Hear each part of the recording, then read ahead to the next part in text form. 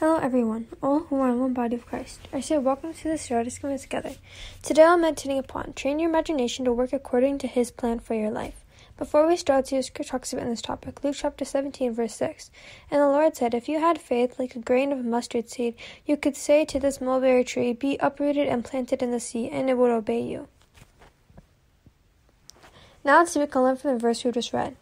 We have inherited the great and most beneficial trait from our character, Creator a trait of imagination. We think, we imagine, we create, and all that we create becomes a reality of ours and other people's lives, and that reality brings glory to His name. Just look at the creation of this universe, and by looking at it, I always say it is beyond our imagination. Have you wondered why? Based on my limited knowledge and understanding, it is because of the force which has created all this.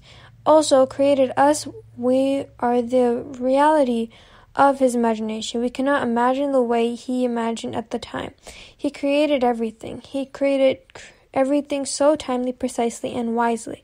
As we inherited this trait from him, we must expand our imagination and take it to the one who knows our reality and ask him to help us imagine the things so we can continue the process of our creation.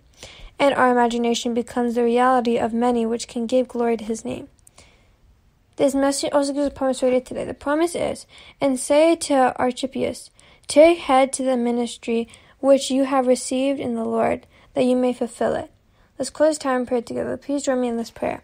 Dear Lord, Heavenly Father, mighty wonderful God, Lord, bless me with the best thoughts to benefit others, making a positive impact in their lives. To your mercies and glory to all which you have given me. Blessed us with wisdom so we can train our imagination to work according to your plan and for our lives. In Jesus' holy name we pray, amen. Have a blessed day, one of God, and we'll talk to you tomorrow.